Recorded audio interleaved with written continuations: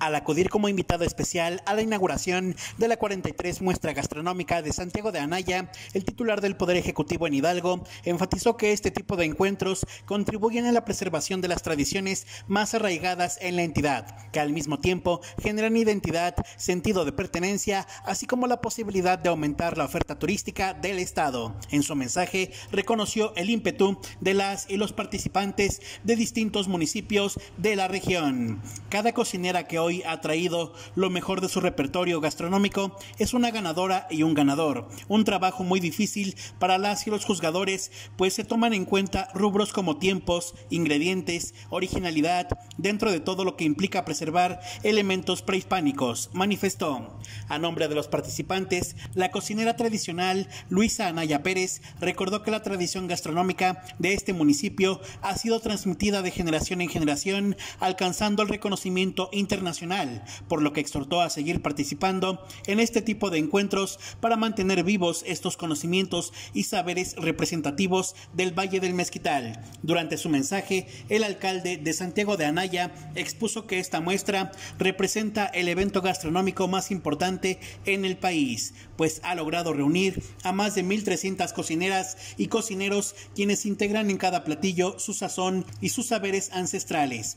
Este evento tiene lugar el primer fin de semana del mes de abril de cada año y cada año va creciendo pues reunimos a más cocineras y cocineros. Reconozco el trabajo de cocineras como la señora Luisa, quien pone en alto el nombre de Santiago de Anaya, resaltó. Finalmente se llevó a cabo un recorrido por los pasillos de la muestra gastronómica donde los protagónicos fueron los sabores exóticos que ofrece la flora y fauna de esta región del Valle del Mezquital y que invitan a quienes disfrutan de las experiencias nuevas a disfrutar de toda una aventura culinaria.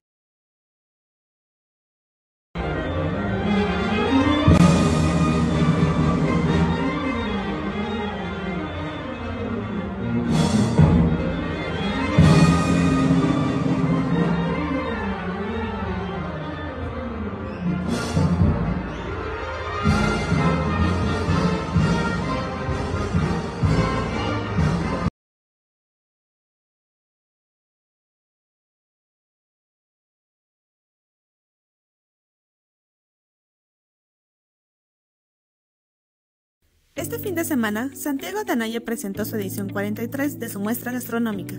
Con la participación de 1.500 cocineras y cocineros tradicionales, esta fiesta culinaria fue todo un éxito, además de seguir siendo un referente en la gastronomía nacional, ya que muestra la riqueza culinaria de nuestra región. Este evento fue un verdadero festín para los sentidos, y los más de 30.000 asistentes disfrutaron de la diversidad de platillos, postres típicos y bebidas ancestrales. Les esperamos en la próxima edición y recuerden que en Santiago de Anaya todo lo que florece se arrastra, camina, corre o vuela va para la cazuela.